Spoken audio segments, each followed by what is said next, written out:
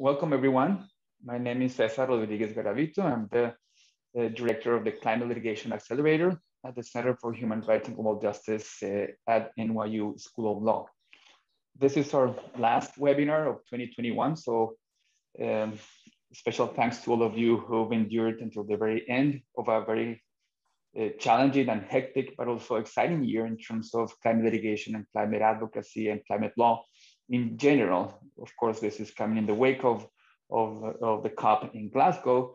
And uh, we have a full year ahead of us in 2022 um, because of, as we all know, of course, uh, this will be a crucial moment for a big push on accountability, ambition, speed in climate mitigation, climate adaptation, and, and, and loss and damage work. Uh, so we wanted to wrap up the year with a special webinar on a key case. As uh, many of you know, CLX uh, hosts a monthly webinar um, and we um, share the recordings from the webinar in the CHRGJ's uh, webpage. By the way, you can see our past webinars, the recordings there already, including the November webinar on uh, big ag and big food and, in, and in the climate cost of those industries.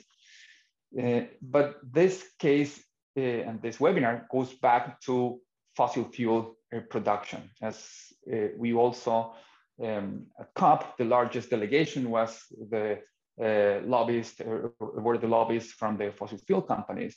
and at the very last minute, the language about um, phasing out fossil fuels and coal got watered down, but there was some progress.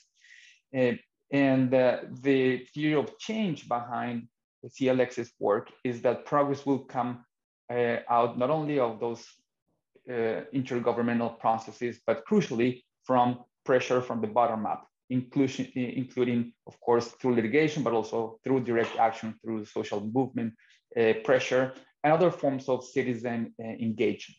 So this is a very fitting way to close the year and before we all uh, adjourn until uh, February in terms at least of the webinars. And uh, this is also um, a, a, special opportunity, a special occasion for us because the two panelists um, that we have to comment on the case today are also very close uh, collaborators of the work that we have been doing uh, with the CLX uh, community of practice that comes together every month. So the case for today is uh, the challenge of the EACOP uh, pipeline. So I'll say a few words about the case uh, and then turn it over to uh, Mark from Natural Justice. I'll introduce him properly in a moment and then to Rick Heede, uh, who have been active in this case as, of course, the litigant natural justice and as an independent scientific um, expert in the case of Rick, um, working on different angles of, the, uh, of this lawsuit. So this year's report by the International Energy Agency made clear that in order to maintain our chance of limiting global warming to 1.5 degrees Celsius, the development of new oil and gas resources must come to an immediate end. Flying in the face of this fact, Total and the China National Offshore Oil Corporation have planned to build the world's largest heated crude oil pipeline slated to run between Uganda and Tanzania. In addition to the substantial climate impacts the new pipeline would generate, it would cut through communities and sensitive ecosystems, spawning additional environmental and human rights harms. To address these climate, environmental, and human rights harms, a coalition of African organizations have filed suit in the East African Court of Justice, challenging the authorizations that the Ugandan and Tanzania governments have given for the construction of the pipeline, as well as the legality of the pipeline itself. The plaintiffs rely on a mix of legal arguments. Argument, that the uh, government's actions and the pipeline itself are inconsistent with applicable environmental, administrative, constitutional, and human rights law.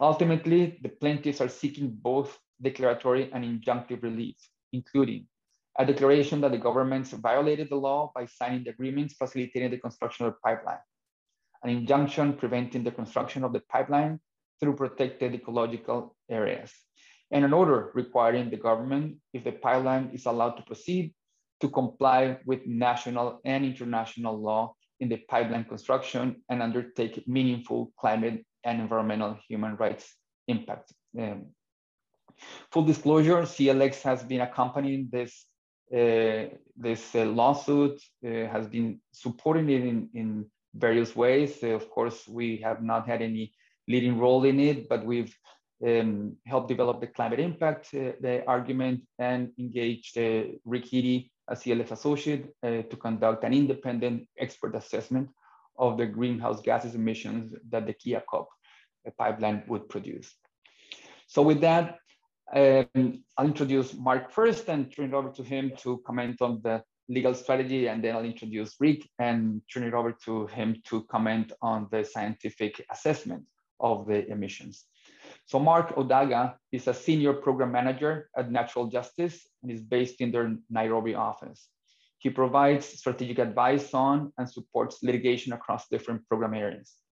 In addition to policy and legal reform advocacy, he also assists in providing technical and legal advice to partners, affected communities, and other stakeholders. So Mark, uh, thanks again for uh, making time for this webinar. Uh, could you comment briefly on what the strategic goals of the EACOP case uh, are? Thank you, Rick. Um, just by way of brief background is to say that um, a, a, number of non-governmental African organizations, I think, were pushed to rush to court to challenge this project because what we observed was uh, a sort of hurried rush to get approvals and implementation of the project before certain checks were made. So in November 2020, we rushed the East African Court of Justice um, reflecting the fact that this is quite a huge uh, project that affects all three East African countries, but also due to concerns that um, there might not be a fair hearing um, in some of the domestic courts, given previous experiences that some of the partner organizations had had uh, challenging some of the oil exploration activities in Uganda, for example. Uh, one of the strategic objectives was to delay the implementation of the project. So as you mentioned, uh, in addition to filing a reference at the East Africa Court of Justice, there is also pending an application for an injunction halting any project implementation. And the, the primary reason for this is to delay project construction because if the project were to proceed as currently planned, then it would result in several human rights violations, not least you know, uh, uh, violation of rights to property, adequate living rights of communities who have been displaced and to date are yet to be compensated, notwithstanding the fact that um, for a number of years, a lot of them have been prevented from accessing their, their land, tilling their land, and that's had a direct impact on, on their livelihoods. Um, I think there was also a concern about you know, the current pipeline route, which passes through a number of legally protected uh, areas, ecologically sensitive areas, including wetlands. Um, some of these are in close proximity to um, communities uh, and they represent sources of water. And so again, uh, direct impacts to, to um, uh, access to water. Um, I think some of the longer term strategic objectives were to also, you know, in the context of the climate crisis, um, to try and set forward positive precedents that could be used across the continent. Um, also to highlight some of the risks of the project um, as looked at in, com in comparison to you know, the renewable energy alternatives. Um, and you know, countries like Uganda, Tanzania, and Kenya are all, I think, very viable uh, candidates for renewable energy exploitation. And I think also in terms of pushing back in terms of what we were seeing and how the impact assessment processes were carried out to also try and push for better precedents. So for example, to ensure that in accounting for greenhouse gas emissions, there's consideration for scope three emissions, something that I know Rick Heede will speak more about. I'll stop there, thanks. Thanks, Mark. Before we uh, turn to Rick, could you give us a, a quick update on the status of the pipeline and the case itself? So at the moment, um, the, the main reference has been filed. We've also filed an application for an, an injunction um, sadly, at the time we filed the case, um, the, uh, a full bench of judges had not been constituted, and that's, I think caused quite a bit of delay because there were a number of cases that had been, uh, been filed and there was a bit of a backlog. So as it is, the case hadn't progressed far. We've had one court attendance at which we were given directions on the hearing of the, the injunction application. Uh, the government of Uganda requested for more time to put in its response. And we've been waiting now for a couple of months to get um, a date for the hearing of the injunction application. Um, in terms of the pipeline implementation, there's been quite a lot of activity um, in Uganda in terms of compensation, at least trying to identify those who are affected along the pipeline route and to compensate them. Um, I think the project, that process has been a little bit more advanced on the Tanzanian side.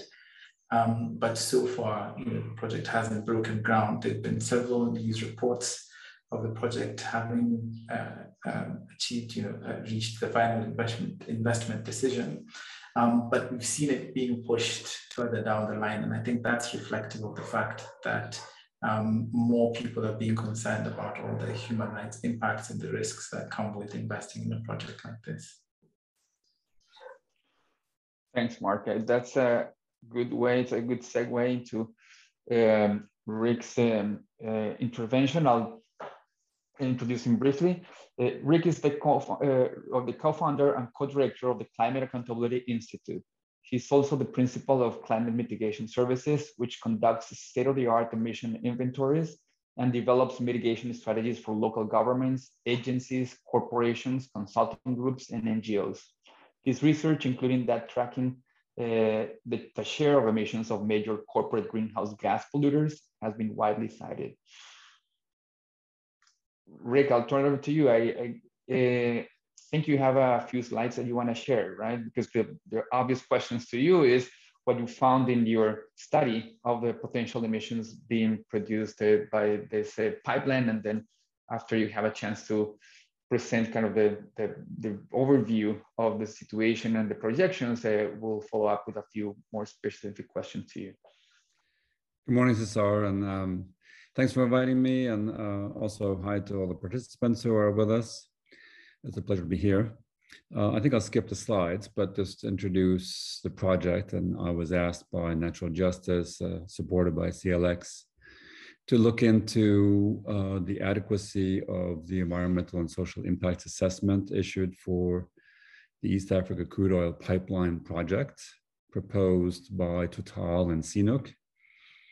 Uh, that's likely to cost three to five billion dollars to construct. Uh, in brief, it's a proposed 24 inch pipeline that will take crude oil from um, Uganda to the port of uh, Tanga in Tanzania. Uh, 1,442 kilometers long. And as Cesar mentioned, they will be heated electrically because the crude oil is heavy in wax. And in order to prevent its deposition, inside the pipeline. It has to be heated along its entire length, as well as at the storage facility at the Port of Tanga. That requires an enormous amount of energy. Uh, in brief, my assessment of the environmental and social impacts report is that it's inadequate when it comes to the climate impacts, uh, as expected, but is um, nowhere near best practice they only focus on direct operational emissions from operating and heating the oil and operating the pipeline, pump stations, heating stations, as well as the energy required to construct the pipeline and trench it two meters underground for 1,400 kilometers or so. So in their assessment, construction emissions amount to about a quarter million tons over uh, several months of construction, if not several years of construction. If you look at the operational energy and emissions requirements, we're looking at somewhere around 6 million tons of carbon dioxide from all the energy used. Um, but that pales in comparison to what I consider um, best practice full value chain emissions transparency, as various international organizations are calling for. Oil and gas companies themselves are being held to account to at least be transparent about the broader climate impact of a post project.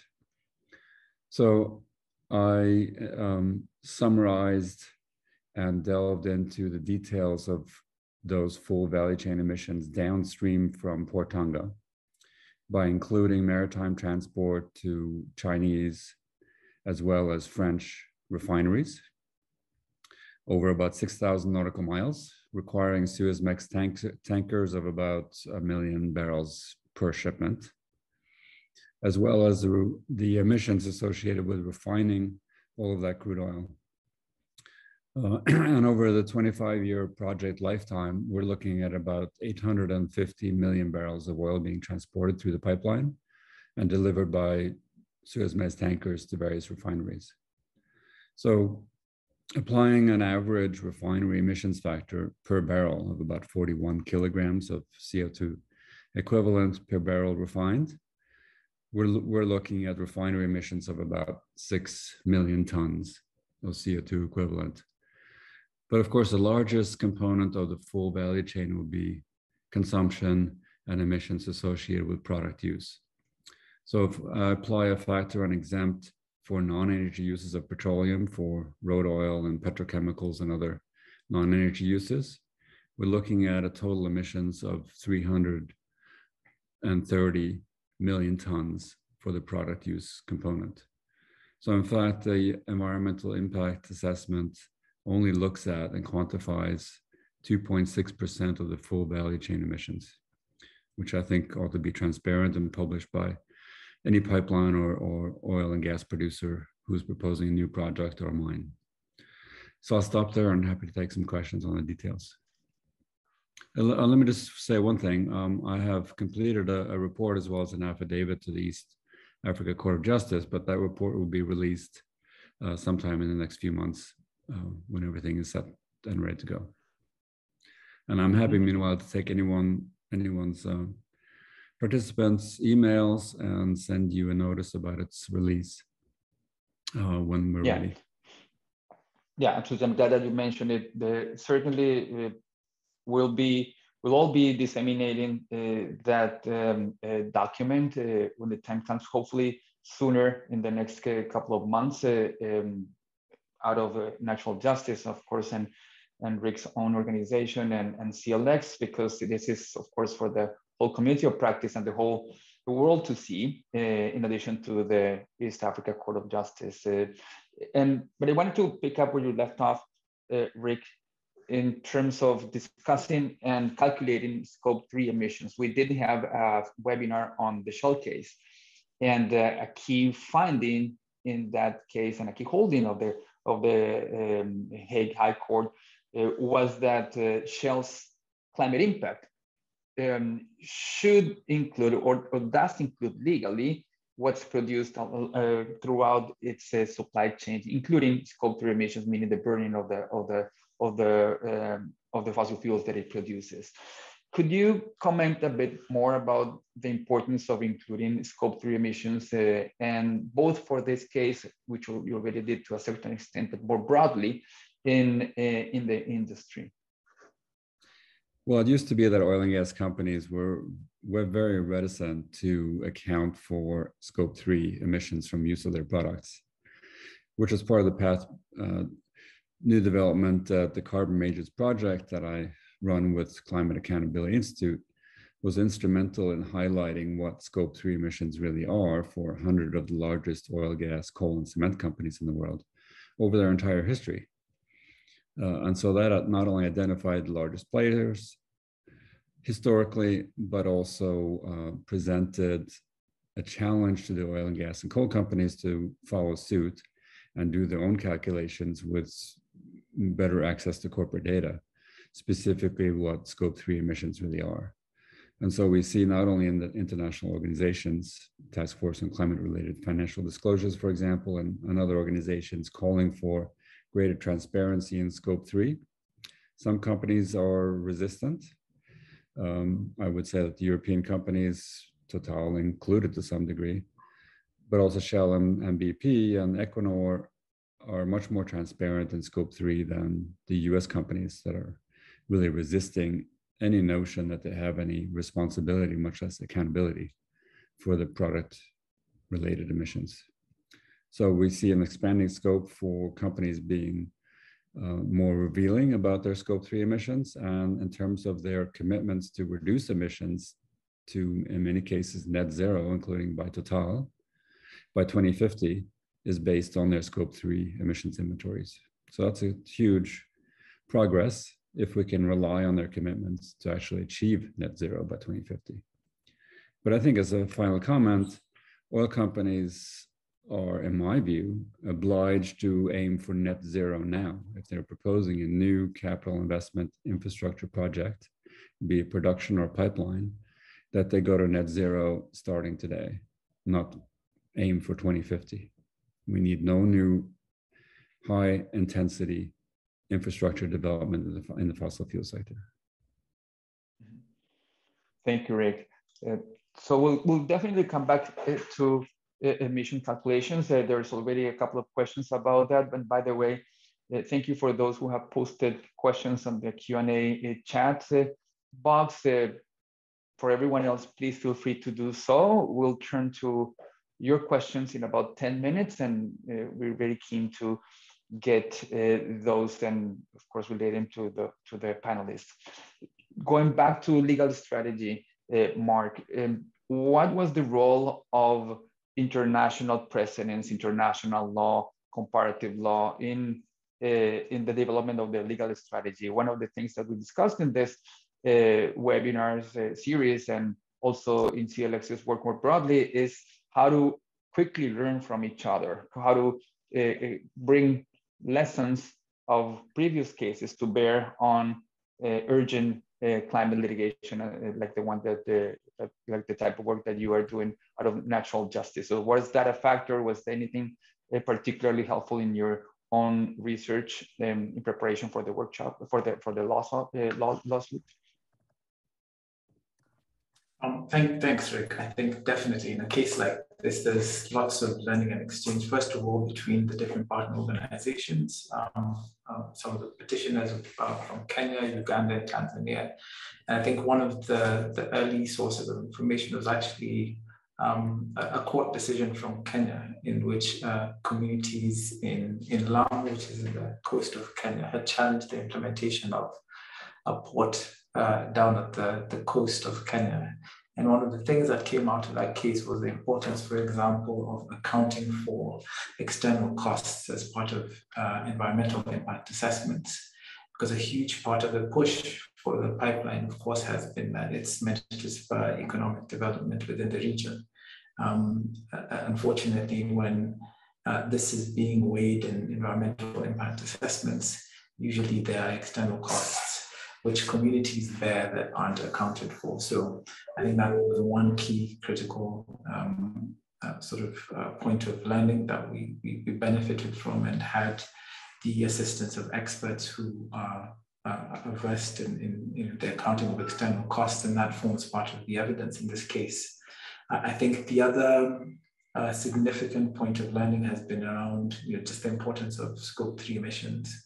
Um, and I think Rick, you're the one who shared the, the, the, the American court decision where the court stopped the construction of the ConocoPhillips pipeline. You know, and amongst the reasons for that was the fact that uh, as part of the impact assessment process, there had been a failure to, uh, the, there had been an exclusion of foreign emissions uh, as part of the alternatives analysis.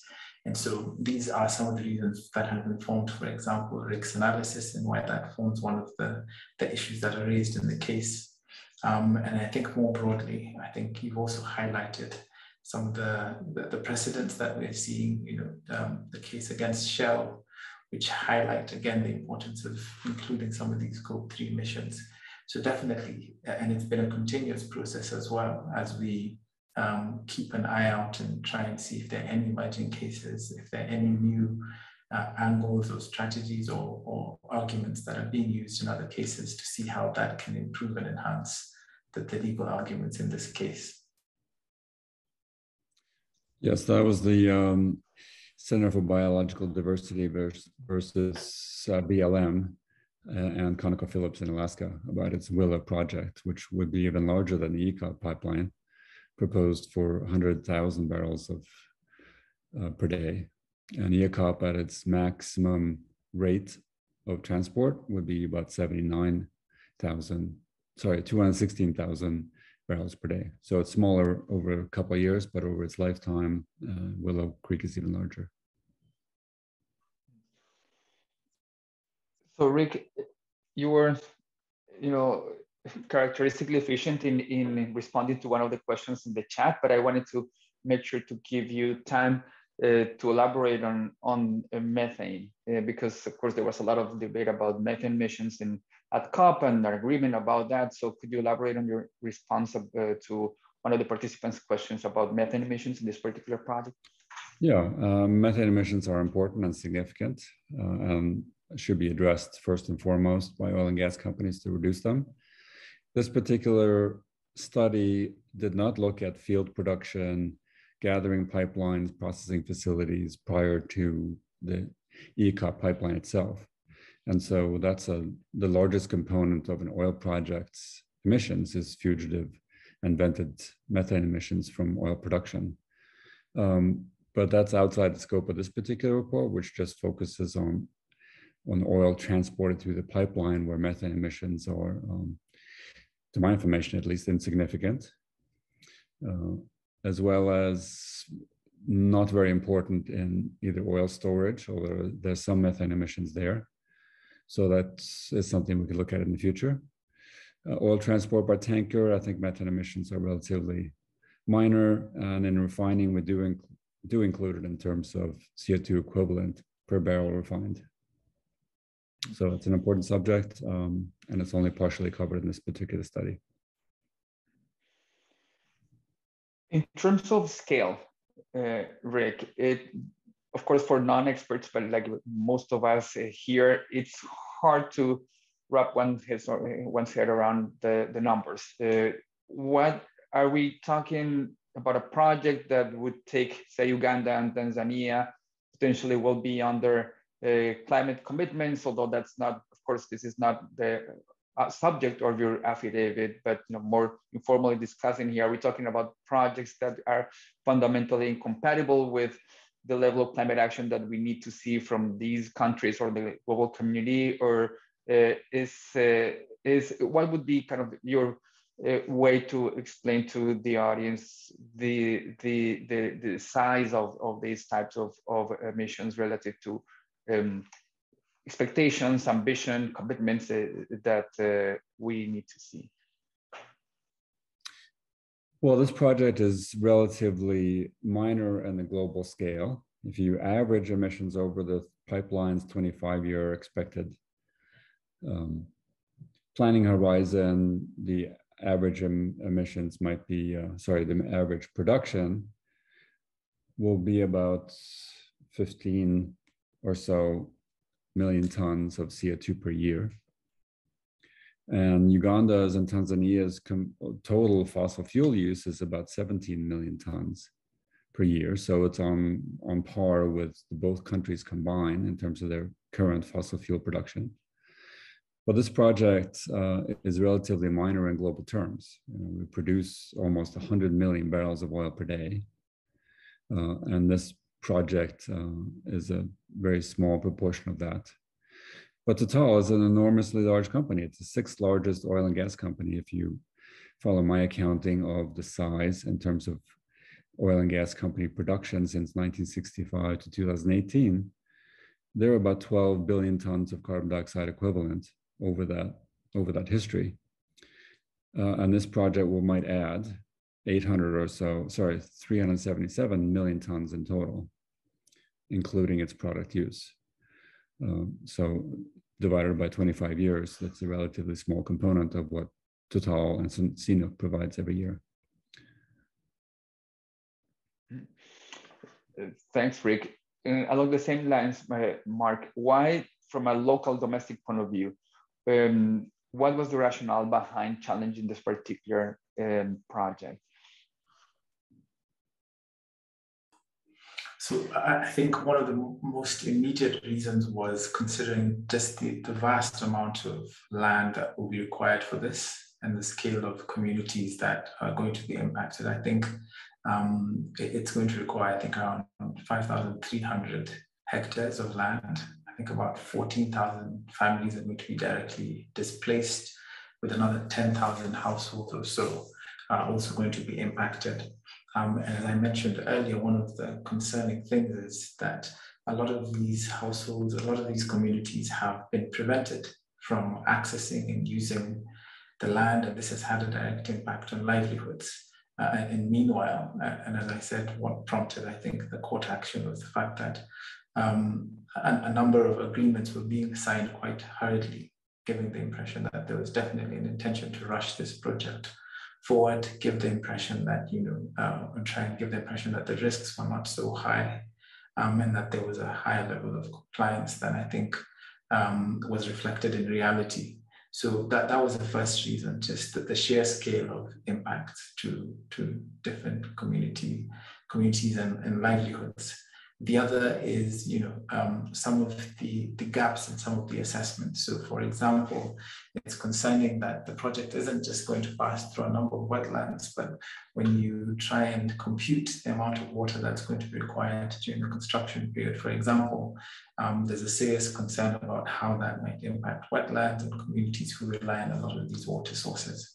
Um, I think more generally, looking at you know, current discussions around climate change, the importance of leaving um, unexploited fossil fuels in the ground, it's also contradictory in, in that direction.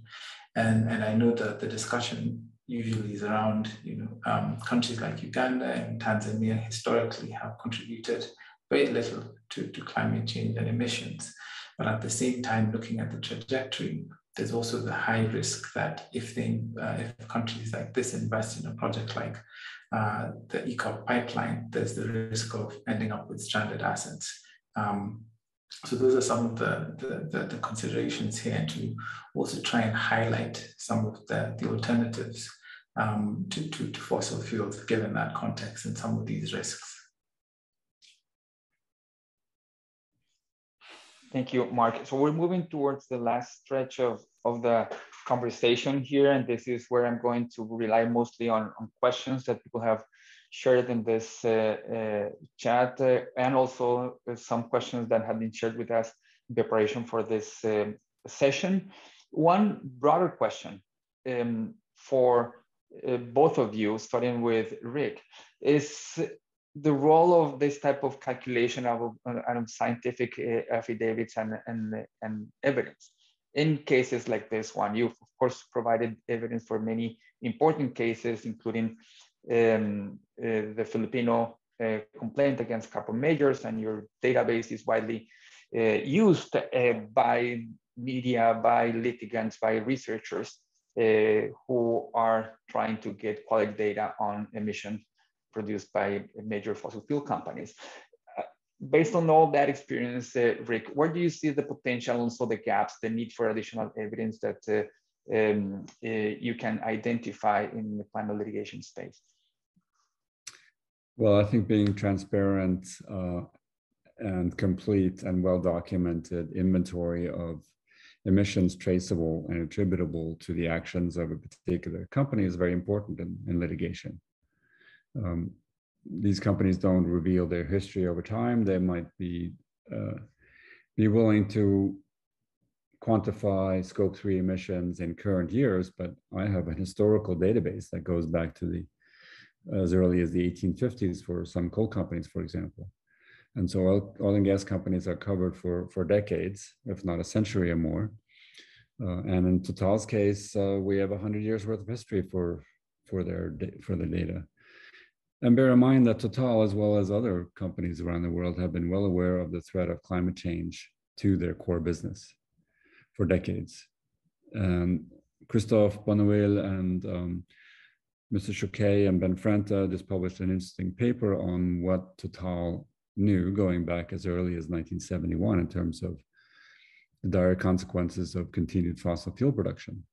And they, like the US companies and others, have funded climate obfuscation and, and denial for decades and in order to perpetuate their business. So I think accounting for which companies contributed how much to atmospheric change and CO2 concentration through their products with full knowledge that these products were harmful and are investing 90% or more of their capital investment into additional fossil fuels is in the wrong direction.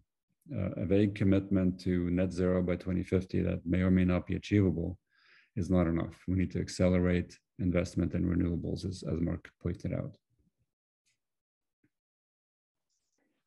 And Mark, coming out of this recent experience of um, receiving quality scientific evidence from a from a world expert like like Rick, what how do you see the relationship between litigation strategies and scientific evidence, and as as uh, other practitioners think about new cases around the world? I think what was valuable here is having someone with uh, Rick's expertise and, and, background in trying to, uh, I think, uh, shed more of a spotlight on the impact assessments um, and to carry out the sort of um, detailed analysis of the scope three emissions. Uh, because that's, you know, we're seeing that that's becoming increasingly relevant and important in other cases. So bringing that to bear also in this context, I think is important. And I think it's particularly important in terms of corporate accountability. And I think for companies like Total Energy to be you know, for, for, for it to come out in litigation, the full extent of, you know, the, the, the emissions impacts of some of these investments, um, so that right from the outset, this is something that they can be held accountable to. In terms of setting a precedent also, you know, that, that would be something positive to see that this sort of requirement is required because um, even in Kenya, for example, um, we have a similar pipeline project. And so, you know, uh, the precedent that comes from a case like this would be really, if, if positive, would definitely also be helpful in setting standards and, and, best practice for, for other developments in the, in the continent, elsewhere in the continent. Mm-hmm. And, and I would add, uh, even outside of the continent, because the Lamu case is a, it's a pioneer, um, a pioneer achievement in terms of holding uh, corporations and governments accountable for coal extraction and, and coal mining, um, which interestingly fed into your own strategies. You learn from your own strategy, and I think there's a lot of space for uh, other organizations in other continents to learn from both cases. Certainly, this one is younger, still ongoing. The Lamu case is already a court precedent that needs to be more actively um, disseminated, emulated, um, and uh, also discussed um, in various uh, contexts. And just a final round of questions for both of you.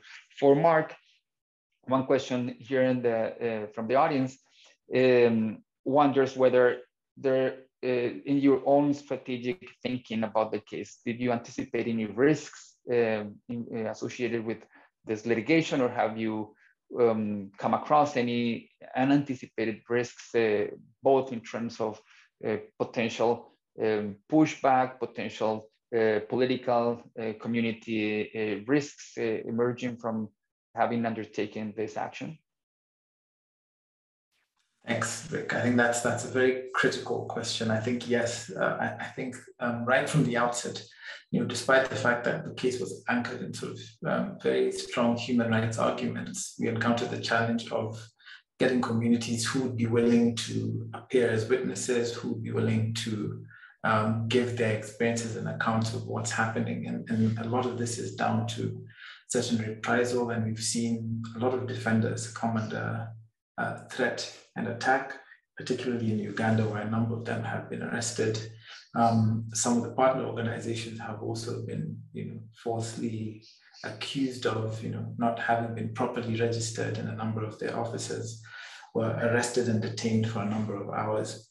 And so that's that's one risk that, that we had in mind, but the, the scale and extent of it, I think, is something that has shocked us, and also the fact that it has been uh, done quite openly, you know, in, in reaction to communities trying to uh, and some of the partner organizations trying to collect information. So around issues of compensation and the number of people whose uh, lands have been compulsorily acquired but are yet to be to be compensated.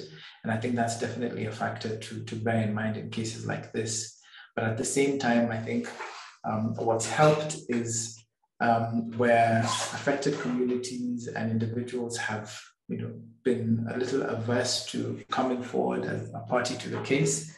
Um, it's helped having, I think, organizations to be fronting this litigation because, of course, then you know um, they're able to pool resources, sort of even if it's in terms of getting support um, as as frontline defenders, um, and also just build a coalition and, and, and, a network with other organizations regionally and across the continent.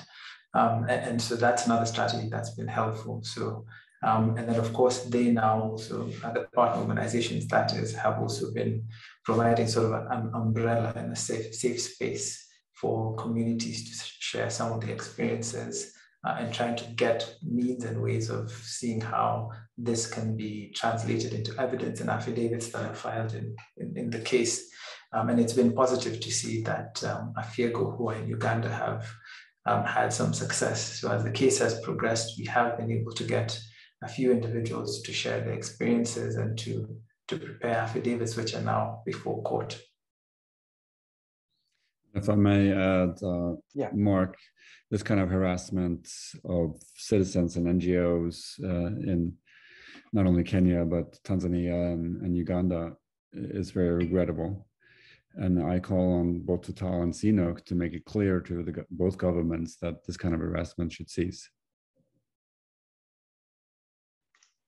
And this speaks to the intimate connection between uh, the defense of different types of human rights. So these are very classical right to physical integrity, right to life uh, issues connected with issues of uh, life and livelihoods, and also with um, environmental rights. So this is this case brings together those various generations and claims on uh, about uh, human rights uh, issues um, that are, of course, very interconnected. So um, with that, uh, we're going to bring this uh, session to a close and with a, a, reminder to community of practice members that uh, we will be moving to a separate link that you should have received in your emails.